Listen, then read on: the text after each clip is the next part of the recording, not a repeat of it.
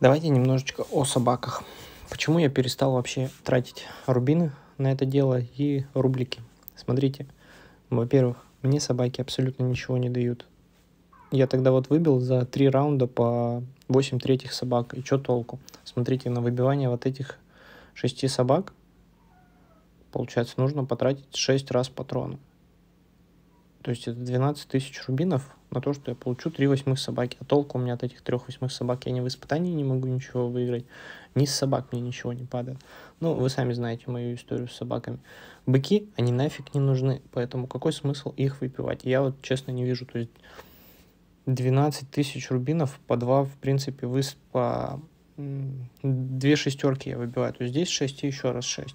Итого 24 тысячи алмазов я трачу на собак, которые мне, в принципе, ничего абсолютно не дают. Лучше уж на навыки оставить. Я сейчас очень экономно стал пользоваться, и теперь все рубины коплю реально на то, чтобы покупать навыки.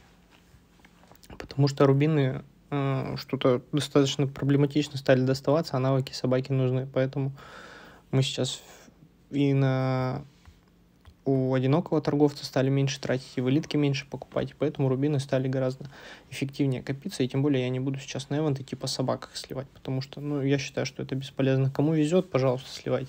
Я считаю, что этого делать не стоит. Собаки, они не так актуальны сейчас.